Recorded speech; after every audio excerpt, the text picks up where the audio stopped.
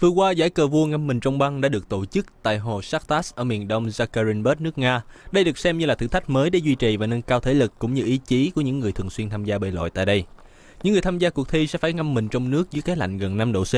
Chìa khóa để chiến thắng cuộc thi đó chính là tốc độ của trận đấu. Khi những người tham gia cuộc thi buộc phải có những suy nghĩ nhanh và những nước cờ chính xác để có thể nhanh chóng hoàn tất trận đấu và vượt qua cái lạnh trong hồ.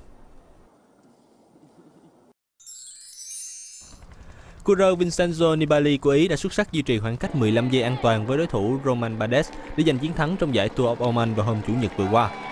Phong độ thi đấu của Nibali đang trở nên cực kỳ tốt dạo gần đây. Ở chặng đua thứ tư ngày 19 tháng 2 vừa qua, anh đã giành được chiếc áo đỏ chung cuộc trong pha tăng tốc leo dốc. Anh tiếp tục giữ khoảng cách và vượt qua Bardet để chiến thắng ở chặng 5 và 6 tiếp theo. Kuro người Đan Mạch Jakob Fuchsang hoàn tất cuộc đua vị trí thứ ba sau Roman Bardet. Giải vô địch trực tuyết thế giới Lutz tại Um Hansen nước Áo vào hôm vừa qua đã khép lại với chiến thắng thuộc về Rita Pingera ở nội dung dành cho nữ và Evelyn Lantaler và Paris Pignetter cùng chiến thắng nội dung dành cho nam. Chiến thắng này cũng đã giúp cho Pignetter leo lên vị trí thứ hai trên tổng bảng xếp hạng này. Tuy không giành được chiến thắng nào tại giải, nhưng các vận động viên chủ nhà Um Hansen cho biết họ vẫn rất tự hào với thành tích thi đấu năm nay của mình. Cơn bão Minnesota đã cúng phần các chú diều hâu đen của Chicago với tỷ số ấn tượng 6-1 trong trận đấu kinh điển tại sân vận động NSL Stadium. 6 bàn thắng được ghi bởi 6 cầu thủ khác nhau của Wild. Tuy nhiên, công đầu phải nói đến người giữ gôn Devan Davis, người đã cứu khung thành của Wild trước 31 pha tấn công nguy hiểm của Blackhawks.